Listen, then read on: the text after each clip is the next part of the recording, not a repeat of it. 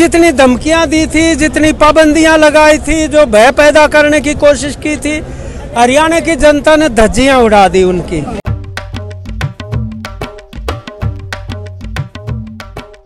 नमस्कार दोस्तों, मैं हूँ रवि कौशल और आप देख रहे हैं न्यूज़ क्लिक। अभी हम करनाल में हैं, करनाल की न्यू अनाज मंडी इसे कहा जाता है इस इलाके को। और जैसा कि आप लोगों को पता ही होगा कि यहाँ पे किसानों ने आज कॉल दी थी कि वो यहाँ पे आएँगे और कमिश्नरेट को पूरा घेरने का उनका जो पूरा प्लान था, उसकी बात उन्होंने की थी क्योंकि यहाँ पे 28 तारीख को जो लाठीचार्ज हुआ था, उसमें किसान की मौत हुई थी और उसके अलावा कल कई अन्य किसान भी जो है वो घायल हुए थे। आज अगर तैयारी के लिहाज से देखें और अगर मैं आपको बताना चाहूँ तो यहाँ पे तमाम पुलिस फोर्स जो है पूरे ज़िले का और आसपास के ज़िलों से जो है वो मंगाई गई है ताकि यहाँ पे कोई जो कानून व्यवस्था की स्थिति है, उसको जो है नियंत्रण में रखा जा सके। किसानों ने भी अपनी जो है, भरपूर तैयारी की है आज, कि जब तक उनकी जो मांगे हैं, वो नहीं मानी जाती, तब तक वो जो है, ये कमिश्नरेट का घेराव जारी रखेंगे। आगे क्या डेवलपमेंट होती है, उसके लिए हम आपके, आपको जो है, बताते हैं। आज से नौ महीने, पंद्रह दिन सिंह बॉर्डर में ऐसे पहले सिंह बॉर्डर हमारे पर अत्याचार किए गए। उसके बाद अट्ठाईस तारीख को करनाल में यहाँ मीटिंग हो थी पंचायत के लिए। खट्टर साहब खुद आ रहे थे। हम टोल प्लाजा में हमारे ऊपर लाठीचार्ज हुआ। आज भी हमारे पाँच टक्के आए हुए हैं। हम कुछ नहीं करे थे। हम सीधे साधे चुपचाप खड़े थे। न काले झंडे दिखा रहे थे। हमारे पास न कोई हथियार था। पुलिस ने हमारे ऊपर सब ये लाठीचार्ज किया। और आज मेरे पैर फ्रैक्चर है और हाथ में टाके हुए हैं।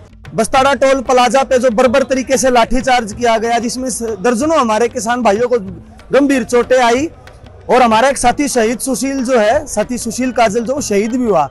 ड्यूटी मजिस्ट्रेट यहाँ का डीसीएसपी ये कहता रहा कुछ समय तक, अब उसको तो जो अटैक आया, लेकिन ये सरासर एक तरह की हत्या है जो बर्बर तरीके से लाठीचार्ज में हुई है।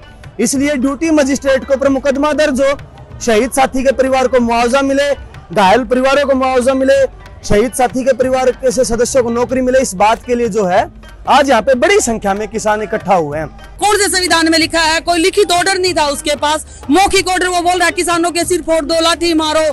क्यों भाई रोड पे हम कौन सा किसी का सिर फोड़ रहे हैं? हम किसी को डंडा थोड़ी ना मार रहे हैं। लेकिन सरकार ने जो किया ये बहुत ही गौर निंदनीय काम है और सरकार को इसके लिए माफ़ी भी मांगनी पड़ेगी और उसको बर्खास्त करना भी पड़ेगा और उसके ऊपर केस भी करना पड़ेगा। सारी दुनिया जानती है कि ट्रांसफ़र, प्रमोशन, ट्रांसफ़र भी कोई हल नहीं है।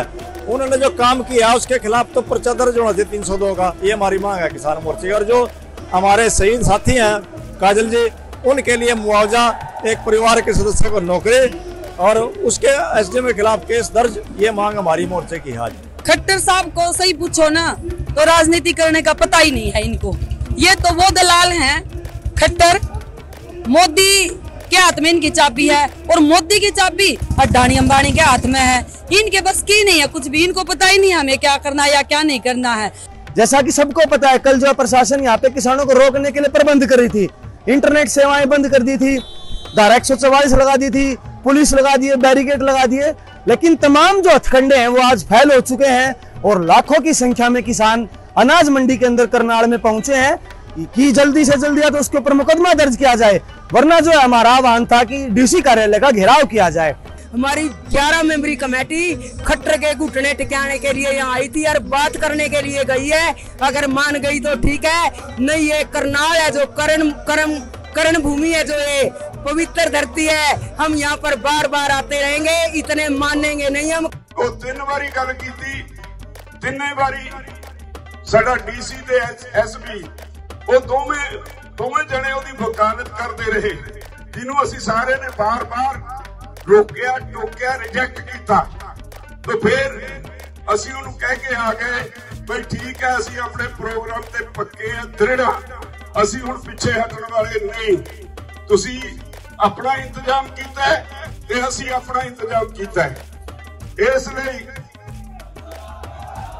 ਅਸੀਂ ਫੈਸਲਾ ਕੀਤਾ ਜਿਸ ਤਰ੍ਹਾਂ ਸਾਡਾ ਪਹਿਲਾ ਐਲਾਨ ਕੀਤਾ ਹੋਇਆ ਹੈ ਭਈ ਅਸੀਂ ਡੀਸੀ ਦੀ ਸੈਕਟਰੀਏਟ ਨੂੰ ਘੇਰਨਾ ਅਸੀਂ ਫੈਸਲਾ ਕੀਤਾ ਭਈ ਇੱਥੋਂ ਅਸੀਂ ਮਾਰਚ ਕਰਾਂਗੇ ਡੀਸੀ ਦੀ ਸੈਕਟਰੀਏਟ ਵੱਲ ਨੂੰ ਉਹਦਾ ਜਾ ਕੇ ਘਿਰਾਓ ਕਰਾਂਗੇ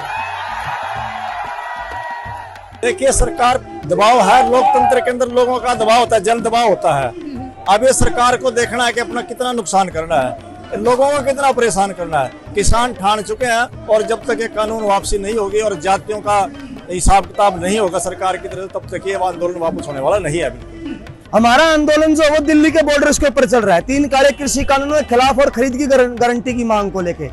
हमारा कोई उद्देश्य नहीं कि तीसरा अलग मोर्चा खोला जाए, क्योंकि हमारी लड़ाई केंद्र की सरकार से परंतु इस बीच में जो सरकार कर रही है, इसके खिलाफ भी निश्चित तौर पे हम लड़ेंगे, इसलिए आज बड़ी संख्या में इकट्ठा हुए और निश्चित तौर पे जब तक हमारी ये मांगे नहीं मानी जाती नौकरी नहीं होती मुकदमा दर्ज नहीं किया जाता मुआवजा नहीं मिलता तो ये इसी तरह से चलेगा। ये अंग्रेज़ों के टाइम में भी यही काम करते थे और आज भी ये यही काम कर रहे हैं। इनको ये जान लेना चाहिए कि ये हम है किसान है किसान के बेटे है किसान की घरवाली है हम। हम किसान के साथ कंधे से कंधा मिलाकर काम करते हैं। इसकी तरह नहीं हम इसने कभी खेत नहीं देखा। ये तो आर एस का आर एस एस का गुंडा है जो उनकी रोटी पकाता है। हम ऐसे थोड़े हैं। 1907 में भी ये हुआ था लेकिन किसान नौ महीने बैठे थे और किसानों ने ये बिल वापस करवा दिए थे। अब फिर वही बात है और हम किसानों के साथ तय दिल से ये नहीं कि हम ग्रहणी हैं, रसोई में ही रोटियाँ पका रहे हैं। हम तय दिल से किसानों के साथ तन मन धन से और हम आगे खड़े हैं किसानों के हम पीछे नहीं हटेंगे और इनको तो वापस लेना पड़ेगा सरकार ने। एक साल बैठा लो दो साल बैठा लो 2024 तक बैठा लो जब तक बैठा लो। लेकिन हम जाएँगे अपने बिलों को वापस करवा के ही घर। कल इसने एक सौ चौवालीस धारा लगा दी।